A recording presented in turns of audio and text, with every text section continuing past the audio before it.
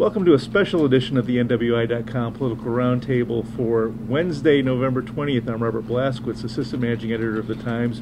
Joining with me today, Doug Ross, Editorial Page Editor of The Times, and our two special guests, uh, members of the State Board of Education, uh, Gordon Hendry, an at-large member from Indianapolis, and Tony Walker from right here in the 1st Congressional District, both Democrats, uh, here to talk about uh, kind of the real interesting uh, goings-on right now uh, with the State Board of Education and uh, and the superintendent. And uh, if you want to talk about what you're doing here in this area, kind of a listening tour and what what you're hearing.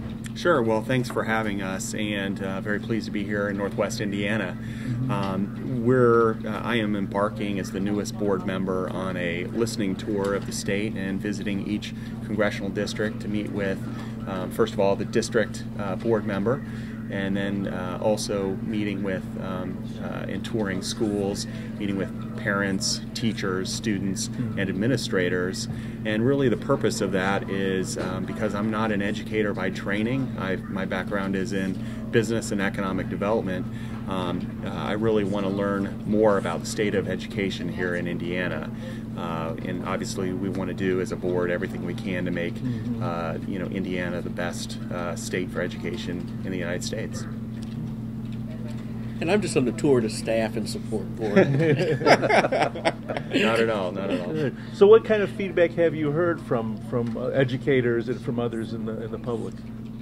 Well, so we've been to uh, one school today, and we're going uh, here in, uh, in Hammond, and uh, we're going to Michigan City later this afternoon, and mm-hmm. um, we visited uh, the Hask, uh, HAST school, and um, their focus is on science and technology. And um, I think we were both very impressed with uh, the administration, with the teachers, with the parents, and most importantly, the students. Mm-hmm. Um, these are uh, young kids who are uh, very passionate about learning, mm-hmm. um, and uh, they. Uh, it was clear that uh, the school is innovating and breaking new ground and um, preparing these students for the workplace and for their careers. Well, there's a lot happening at the State Board of Education, um, and you know, the kind of, part of the controversy is kind of a parallel board uh, set up by uh, Governor Pence, Governor Mike Pence, I should say, the uh, uh Center for Education Center for Excellence in Education and Innovation, or Innovation, something like that. Yeah, uh, yeah, the Center for Confusing Acronyms is named it, and uh, so you know, the, the question is what the heck do you need this agency for if you, we've already got the State Board of Education and the Department of Education and Superintendent of Public Instruction? Um, you know, what's your take on that? Well, Doug, it's not a parallel agency at all. Uh, quite frankly, the governor, even prior to becoming governor, has been very clear about wanting to clear out the pathways between schools and graduation and a job.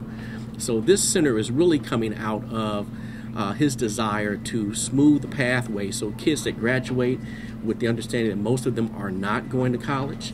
That is just a fact in this state. So they do need to be able to have jobs, and we need to make it easier for them to make that transition. That is the primary goal of the center. Now, it is in no way a shadow organization of the Department of Education. It doesn't take away any authority or power from the Department of Education.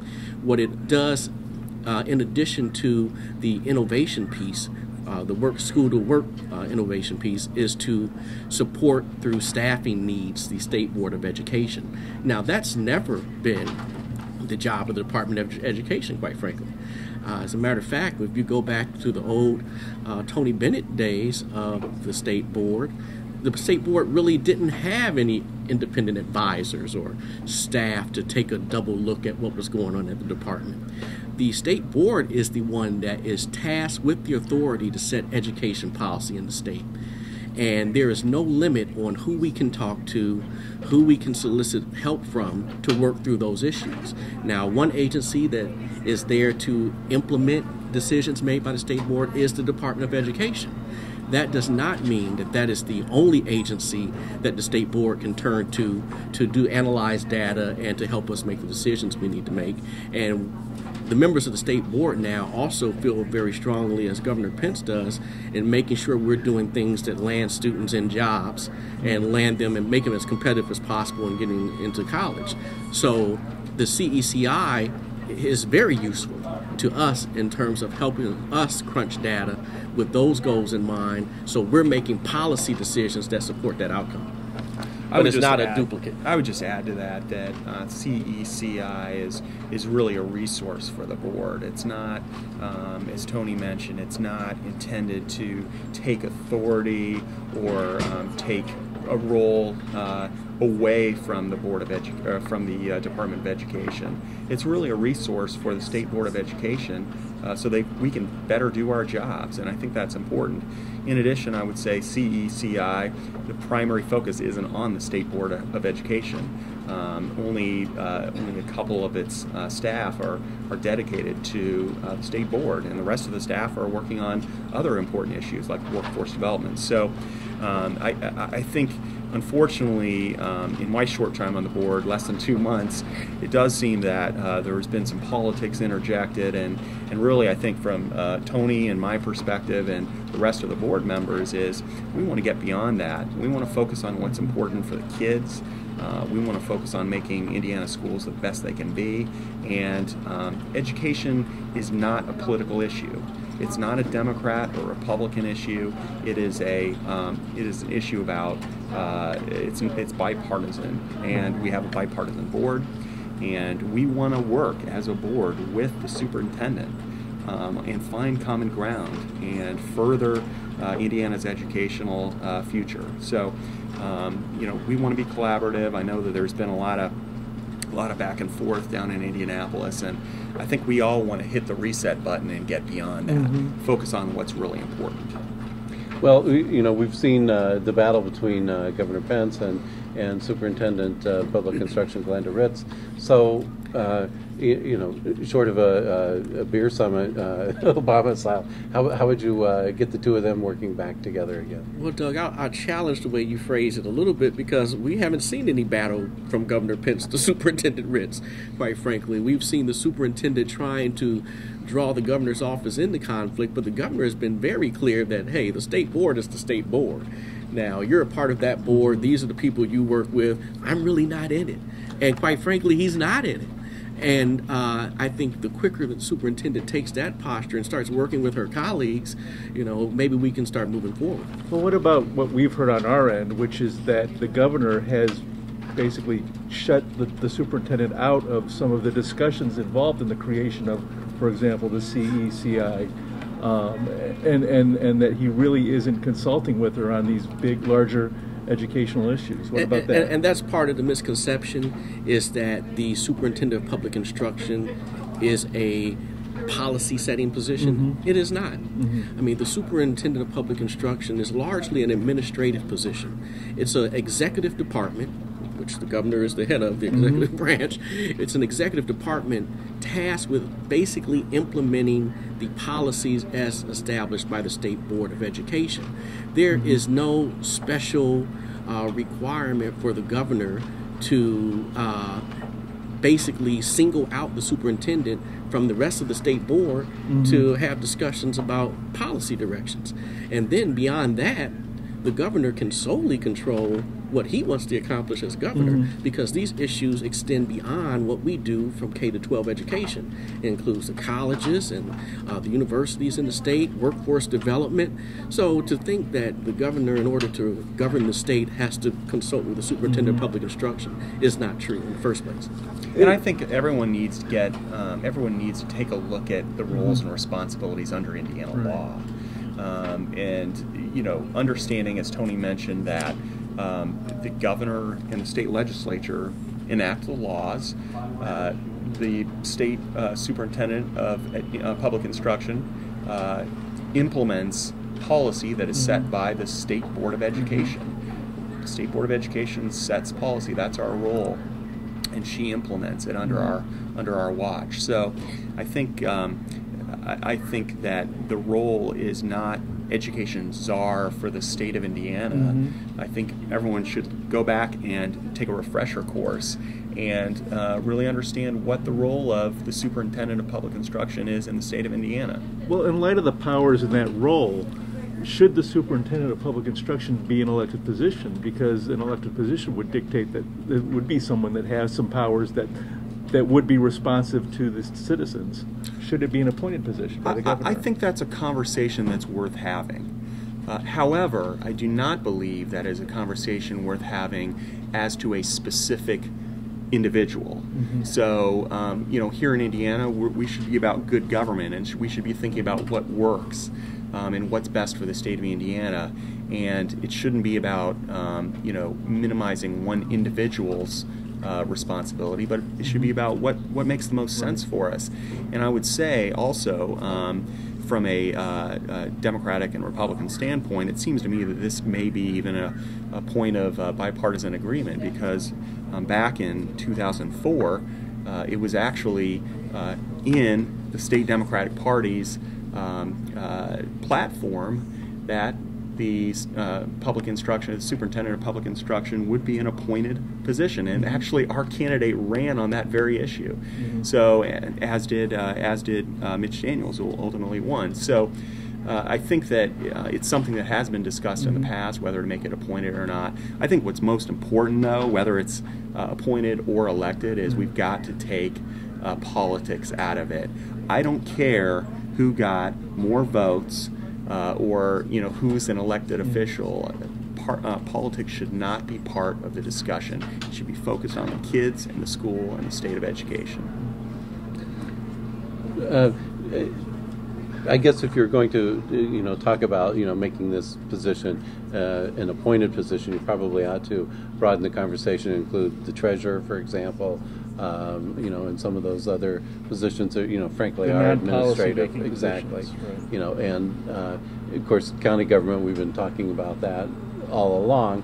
Uh, that you know, they're, you know, auditor, recorder. You know, why do you even clerk? Why do you elect these positions? So, you know, perhaps it's time to join that conversation and talk about it at the state level as well.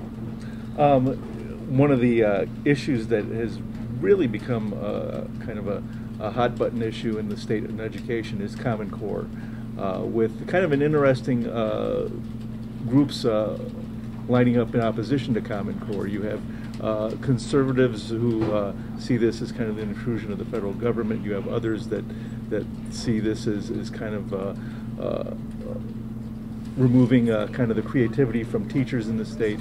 But then you have others saying, you know, that, that Indiana needs to kind of get on board with something that the rest of the country is doing uh, in terms of this baseline of uh, instruction uh, that our students can, can compete with uh, the rest of the students in the country on. What are, what are your views of the Common Core and, and the whole debate? Well, as you know, I've, I've been a long time supporter of Common Core, and I still support Common Core. Uh, when you focus the kind of laser attention on any state standards that people have now done with Common Core, you can always find a book or something in the standards that you're like, oh, wow, this is there. Mm-hmm. But the fact of the matter is, right now, Indiana standards are Common Core standards.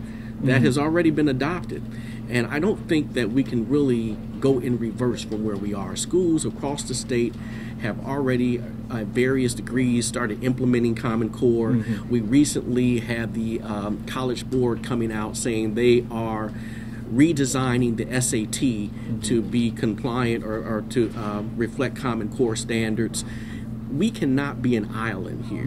And a lot of the arguments I get, and we get a lot of emails and letters regarding this, most of those arguments tend to go around states' rights and the idea that folks in Indiana just don't like everyone else doing what the mm-hmm. federal government is doing. But mm-hmm. you know, I hasten to add that um, Common Core essentially came out of the National Governors Association with the mm-hmm. support of Mitch Daniels, a, a Republican-dominated National Governors Association, by the way. Uh, and it just so happened that Arne Duncan and President Obama signed on to that later, but it started as a Republican initiative. But somehow it's got politicized in a sort of anti Obama way, where all of a sudden, when we initially passed Common Core, there wasn't even a big hoopla. Think about that. Uh, there were a few people out on the fringes, but nothing like it took on once it became associated somehow with the Obama administration. But the fact of the matter is, businesses across this country have been clear that they want a apples to apples, oranges to oranges comparison mm-hmm. on education systems in the country, and we will hurt ourselves, in my opinion, if we try to opt out of that system because you know what, it's not going to be seen as though well Indiana just decided they're going to have better standards. Yeah. It's going to be seen as Indiana didn't want to be as rigorous as Common Core, and, and we can't afford that. And quite frankly, our overall state student performance outcomes don't really justify going on our own right now, to be honest with you. I believe that Indiana should have a set of standards that prepare our students to be career and college ready. Um, and uh, those should be nationally aligned. Um, you know, we've already implemented Common Core, and uh, many classrooms are using textbooks that are uh, aligned with Common Core. My, my, wife's a teacher involved in textbook adoption, and mm-hmm. they have the Common Core textbooks. So so I don't know that it uh, makes sense to uh, roll it back in Indiana. Uh, Tony made a, a, good point that uh, this was developed by the National Governors Association in a bipartisan manner um, and was implemented by Indiana. So, um, you know, generally, I think that uh, you know there are there are ways that uh, it may be tweaked to here in the state of Indiana, but um, I don't think it makes a lot of sense to roll it back. One of the things uh, we've talked about is probably uh, uh, school accountability. We've talked about you know the A to F grading school uh, scale and so forth. But you know the question is, you know, we saw the the under uh, Tony Bennett, we saw the um, um, Roosevelt, for instance, got taken over in Gary um, and put under state control. Uh, several high schools in Indianapolis, or several mm-hmm. schools, mm-hmm. I should say, in Indianapolis, the same thing. You know, are we going to be seeing another wave of this uh, the next few years, or you know, what should we be looking for? Well, well, the failing schools have to be addressed. It, it's not fair to children that are trapped in neighborhoods where their parents don't have the economic means to pick up and leave to just say those schools are failing and we don't care about them. We did that for a very long time in this state, and I, I just want to say that Roosevelt is, you know, often gets sort of thrown in with the whole A to F accountability uh, issue, but Roosevelt was not taken over under A to F. Right. It was taken over under Public Law 221 after six years mm-hmm. of not performing adequately. Um, and we also have the uh, AYP system that was out there by the federal government. We implemented A to F because there was no debate among schools, teachers, parents, that AYP was very damaging to schools in Indiana. You had schools like Hobart High School that under the state system were a school uh, was an A school, but because of AYP was capped at a C. So we worked with the federal government to come up with an accountability system that they had to approve in order for us to get from under AYP. That system didn't was not perfect. Matter of fact, the majority of us had things in it, you know, a laundry list of things we didn't like about it, including Tony Bennett, by the way. But many of those metrics were forced upon us by the federal government. And now we're sort of talking about it as if, you know, well, what were they doing? Well, actually, uh, we were doing what the Fed said we had to do to, in order to uh, throw out AYP. Now, clearly, no accountability system is going to be perfect. It needs some work. We're doing that work now. But at the end of the day, Indiana is now nationally recognized as having the strongest system of accountability in the country. That's going to be very important going forward, and it's a commitment by the previous governor, and I think this governor, to say that no child truly is going to be left behind. And let me say, too, um, school accountability really was developed under Governor Frank O'Bannon, uh, Democrat, mm-hmm. and continued on, um, you know, since that time. So it's something that's been a bipartisan issue, and you know, we we believe, I believe strongly in accountability. I think if you can't measure uh, success, um, then uh, you, you you don't know where you stand. So um, that there's a big problem with that. Um, so, and, and I would also add that um, I just recently visited one of the takeover schools in Indianapolis, um, the Emma Donnan School, and uh, I got to say that uh, what they've done there in just a short period of time has uh, just been tremendous. Uh, the school safety, you know, you don't think about that, but mm-hmm. you know, the kids are uh, well behaved, they're safe uh, in, a, in a safe learning environment but then uh, just the school itself, just by its uh, test scores and everything else, the performance over the past couple of years has been very strong, and I think it's likely to continue to improve. So. I think uh, to call it a takeover, I think is maybe a little bit of a misnomer. But um, you know, if I had a, I have a child right now who's a kindergartner in Indianapolis Public Schools. She's in a great school, but if she wasn't, uh, and I would not want her to be for six years in a failing school with no accountability. I would want change, and I think there's a lot of parents out there, uh, you know, of kids where you know maybe they can't move to the the uh, district where the schools are better, you know, for whatever reason, and it's not fair to them to, um, you know. Uh, have their students in a failing school Mm-hmm. for six, seven, eight years, uh, because that's just uh, that's that's not the way we want to do business in our educational system. And, and I think it's important for your viewers to know too that the the school accountability system is not all you need to know about a school. You you can't. It, it's almost negligent to just look at the letter grade and make a determination about the school based upon the accountability grade because we're only looking at a set number of factors and, and, and not enough factors for my liking. For instance, with the you know elementary schools, uh, middle schools, we're really just looking at standardized test scores, and a school is much more than that. And for instance, we were at HAST this morning, Hammond Academy of Science and Technology. That's a phenomenal school. Now, the school in their accountability grade received a failing grade. Not because it's a bad school, because it was a bad rubric by which it was mm. judged. And the school didn't have, because they started out adding grades, they were being penalized for data that they didn't have because they didn't have 10th, 11th, and 12th grade.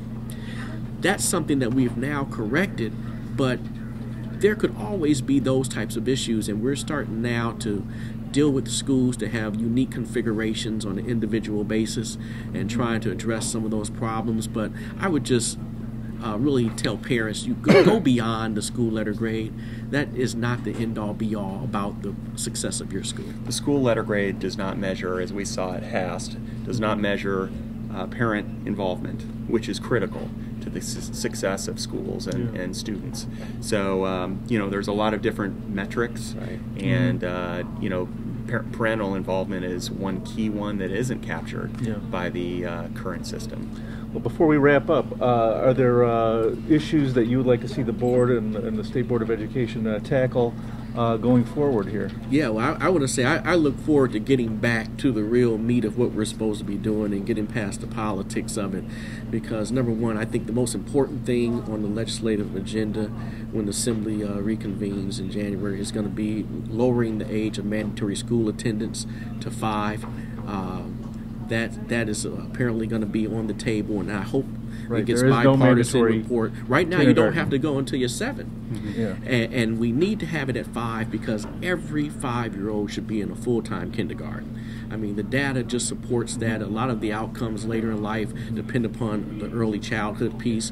So I'd like to see that. I'd like to see project based learning uh, model really proliferate throughout the state. HAST is a good uh, a model for that. New Tech here in uh, Calumet Township. Uh, you know, we have more and more classrooms that are adopting technology and doing blended learning, giving iPads. That's the wave of the future. That's how the kids are learning to collaborate and work on issues. So we should be supportive of that as a board. And the sooner we can get back to making policies that address future needs and not fighting over silly stuff, the better. You know, um, as the newest board member, I'm really out uh, just uh, visiting different parts of the state and, and trying to learn um, what uh, the state of education looks like, and you know, hopefully, we'll bring some of the lessons that I've learned uh, back to the state board. And you know, I'm just hopeful in the short term. Obviously, there's been a lot of controversy and back and forth in Indianapolis uh, involving the state board of education, and my hope is that uh, we can get beyond that. We can get back to focusing on issues that matter. Uh, and, you know, I'm hopeful that um, the State Board of Education can work with the Superintendent of Public Instruction uh, to find common ground. I know for myself, I've reached out and have a one on one with the superintendent next week. I'm looking forward to uh, having a conversation with her, and, and hopefully we can find some common ground and, and move forward the way everyone out there wants us Yeah. to. Well, we hope that's successful, and uh, we thank you. Uh, thank you for uh, joining us, Gordon Hendry, uh, Tony Walker, State Board of Education members, and thank you for watching this edition of the Political Roundtable.